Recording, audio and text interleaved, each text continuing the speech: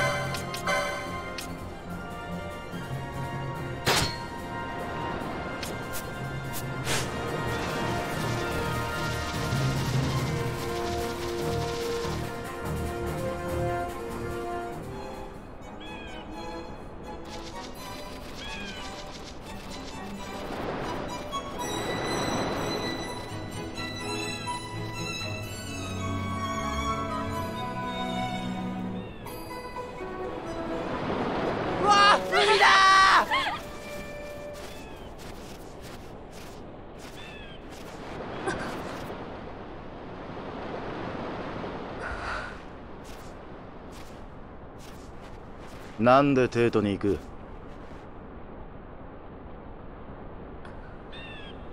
それは浜関を封じ奪い返しにじゃないのか？石の力でダルマスカ最高。そうなんだろ？気持ちはわかるがどいつもこいつも。私が力に飢えている浜関に取りつかれている。そんな風に見えますか？そういうやつを一人知ってる。浜関に夢中になって他には何も見えなくなって始終わけのわからん独り言ばかりだな。エーデスだったかベーネスだったかまあなんでもとにかくそいつは全てを浜関のための踏み台にした。飛空艇やら兵器やらを開発したり俺を無理やりジャッジにしたり。あなたがジャッジ？秘められた苦い過去ってやつだな、まあ、すぐ逃げたよ。ジャッジの義務からもそいつからも。シドルファス・デム・ブナンザ。ドラクロワ研究所。ドクター・シリア。浜関に心奪われてあいつはあいつじゃなくなった。俺の父親でもなくなっ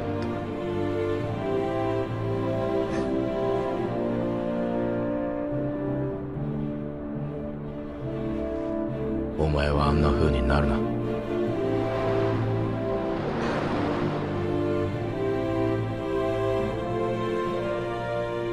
俺は逃げちまった。石に囚われたあいつを見てられなくて逃げて自由になったと思い込んでた。なのに浜関と知らず黄昏の破片に手を出してあんたに会ってここにいる。結局逃げられやしなかったんだ。だから終わらせる。過去に縛られるのはもういい。を断ち切れば自由。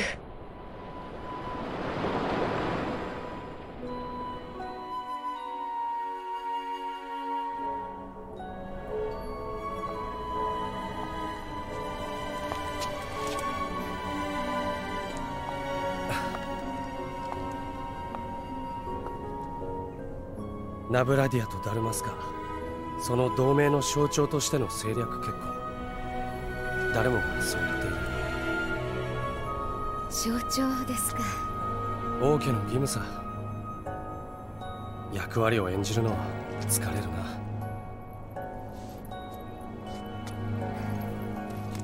守ります。君でよかった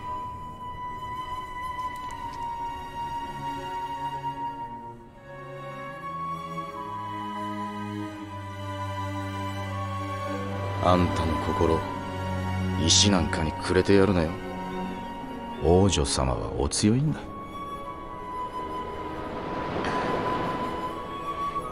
そうありたいと願うわ。